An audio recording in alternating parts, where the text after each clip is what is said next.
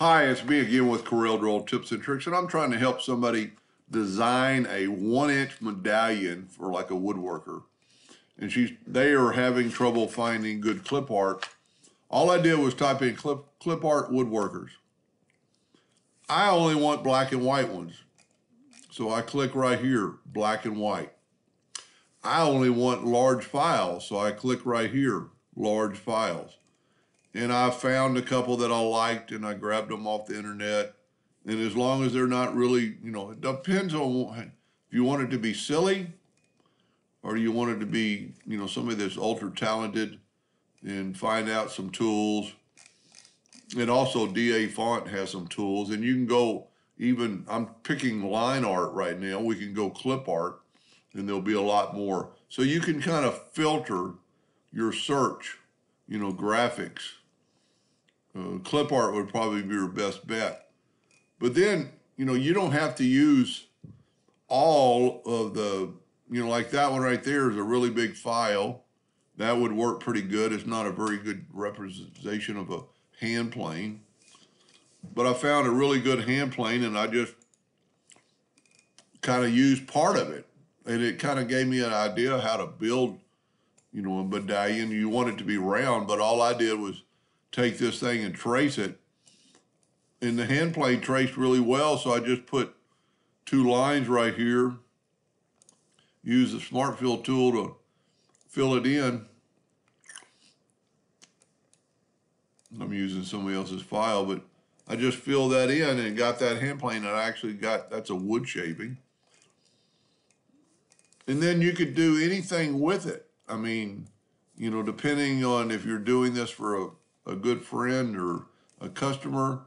You know, I kind of like this idea, but to me, a medallion is going to be a round circle. She actually said one inch.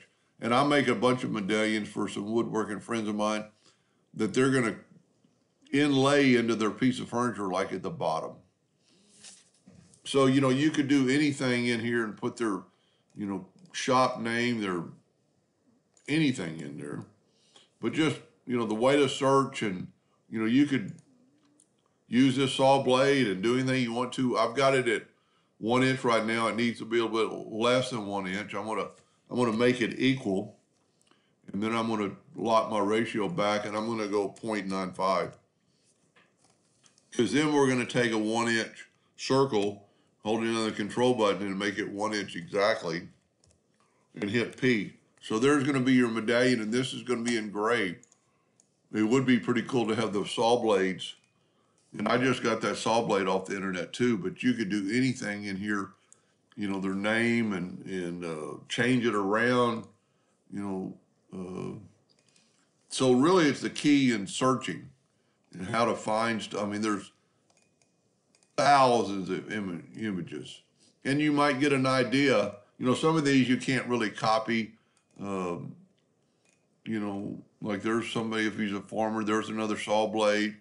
You know, you can, you could pick, you know, something like that. Not a very big graphic because there's a lot of them, but you could copy the image and paste it in there and then make it small. And then you could, with it selected, which is the key, get your crop tool and crop out that saw Must have hit clear. Yep. Then you got that saw, but by having it selected, you didn't delete anything. And something that small should trace pretty well, outline trace clip art. And it all depends on what kind of, you know, woodworker there are. You know, if they're a fine furniture maker, they don't use a skill saw like that. So it just kind of really depends. And that trace pretty good. It, it's good representation. I would uh, ungroup it and take away that gray.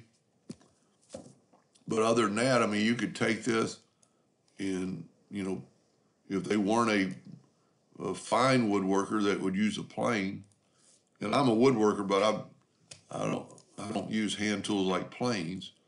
I use all big power tools. But you know, you could take something like that, expand it, and if you're working in the center of the page, you can see what it looks like. And then this particularly with this, would, and you've already got two saw blades represented on the outside, so you might not want to want, use that. But you can very easily text the path. Uh, and you don't, you know, if even if you text the path, you could have the saw up top and still have text the path. I like the plane better. The plane is more representation of a, you know, a fine woodworker. But you could put their name in there and you could actually, you know, do more than that. Um, I'm kind of rambling here, but let's take the saw blade and tell you what, let's take this circle out of the way. Let's take our saw blade and left click, right click, and let's do something here that would, would be pretty cool. And you got to remember it's a medallion, so it, it's going to be small. We put it about right in there and start holding down the control button. And then you could actually delete this line. Whoop, I didn't go far enough. Whenever you have a line that doesn't want to, it's going to disappear because you just didn't quite draw it long enough. This should take it away.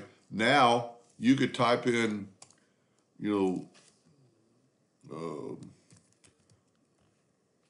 I'm just going to use the word wood right now. You could and and you could do reverse engraving on this, uh, which would be pretty cool.